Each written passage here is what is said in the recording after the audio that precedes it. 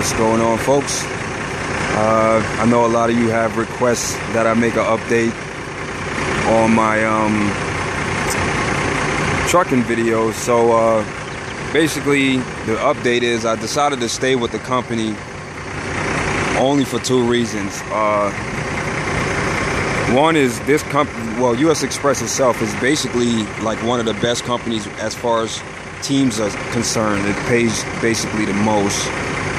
And um, the second reason is like, you know, what was what what would be the sense on leaving here to go to another company to deal with a different devil? So I figured, you know, I might as well just, you know, deal with the devil that I'm used to.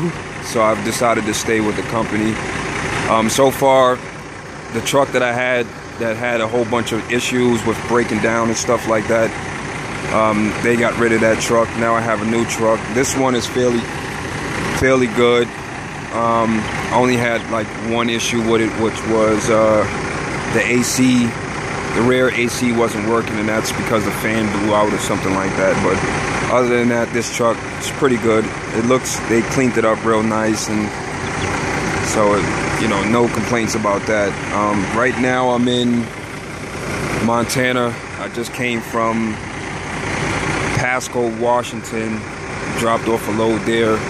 That's exact. That's where where the AC just so happened to break while it was 108 degrees out there when I, you know, so that's the AC broke at. So um, they fixed it, and um,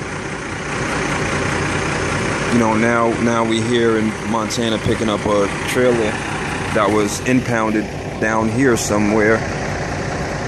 So uh, I'm just waiting for the officer to come to release it so I can pick this up. Cause I, my home time is coming up soon. But um, like I said, you know, I decided to stay with the company. It's a pretty good company. Now I have a new fleet manager, and he's like awesome. Like this guy is the best. I never had any problems with this guy so far.